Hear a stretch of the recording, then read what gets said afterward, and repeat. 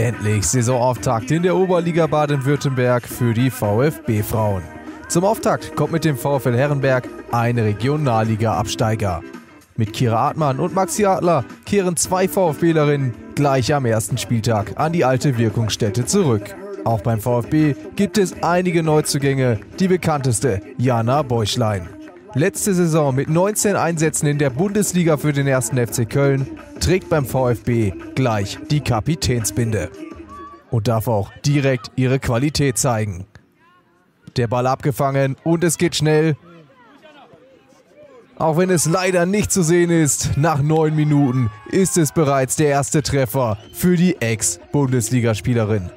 Die Gastgeberinnen zeigen von Beginn an eine klasse Leistung, knüpfen an die starken Spiele der Vorbereitung an. Baumann, da war mehr drin. In den acht Spielen vor dem Saisonauftakt weist das Gerber-Team eine Torstatistik von 56 zu 3 auf. Eine offensive Wucht, die man auch heute zeigt.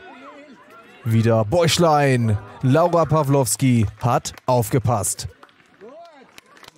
Nur eine Minute später gleich der nächste Vorstoß. Der Ball wird länger und länger. Und der nächste ordentliche Abschluss von Bäuchlein. Die 27-jährige Stürmerin nahezu an jeder gefährlichen Aktion beteiligt. Jetzt mal als Vorbereiterin für Anja Zelensky. Es bleibt bei der knappen Pausenführung. Ein guter erster Durchgang, es fehlt das zweite Tor. Wir schauen auf einen Freistoß in Durchgang 2. Laureta Temay etwas zu zentral.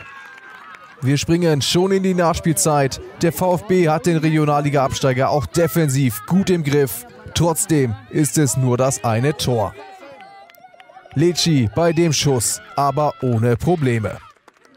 Und so gewinnen die VfB-Frauen ihr Auftaktspiel gegen den VfL Herrenberg verdient mit 1 zu 0. Ein gelungener Auftakt auch für Jana Beuschlein. Wir sind äh, die ersten paar Minuten gut ins Spiel gestartet, haben dann ein bisschen die Sicherheit verloren, in einfachen Pässen, falsche Entscheidungen getroffen.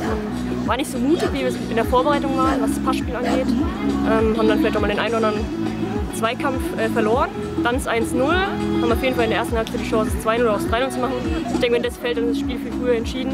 Auch hier in der zweiten Halbzeit. Ähm, wenn wir da die Situation klarer ausspielen, schaffen wir vielleicht früher das 2-0 zu machen, weil Herrenberg im Endeffekt keine wirklich hundertprozentige Torchance außer in der ersten Halbzeit ähm, wirklich hatte. Demnach schwerer Auftakt gegen Regionalliga-Absteiger, aber ich denke, wir haben es gut gemacht und es gibt uns Vertrauen für die nächsten Spiele. Das ist dann das Derby am kommenden Sonntag bei der zweiten Mannschaft des KSC. Wir schauen noch mal kurz auf die Tabelle.